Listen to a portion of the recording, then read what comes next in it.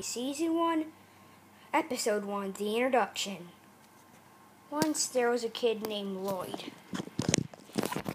that lived in a creepy house that was haunted. He didn't like it, so he told his parents if he could move away. They said yes, and they left. And after that, he's been having nightmares about it. And I mean about his house but he never had it again after one night when he he had a dream about spies. The dream he was a year he was a few years older. And his school was blowing up. And he met spies there which told him he would be in an agency called ESF. So the next day, there was no school discrepancy. Oh, did I tell you the school up? Well, I don't care.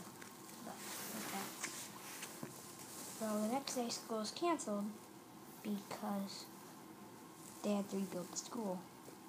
So he stayed home the whole day playing video games. But then the, spies came and secretly took him to their base. The, the reason was he was going on a mission. But before I can tell you about the mission, I have to tell you about something else.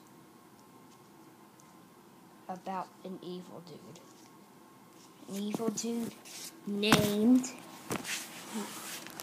Evil Dude. Well, you already know that because they call him Evil Dude. So, the Evil Dude was building an army of cyborgs to destroy the world.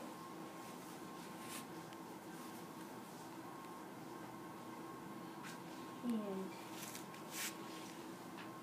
then one day, an agency called the ESF, which you already know about, well, named the agency, but you don't know about this part of the story. The agency got attacked by the cyborgs. They had to fight back with the cyborgs. And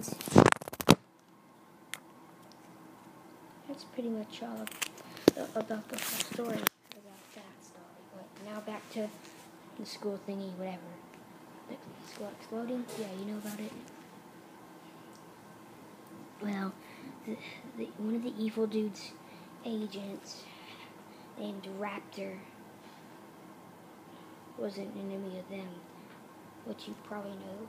And they had to try to kill him, but they couldn't kill him. He escaped. It was bad. And the reason I, the way I know all of this is because I'm Lloyd. Which is the kid, you know, him. Well, the end.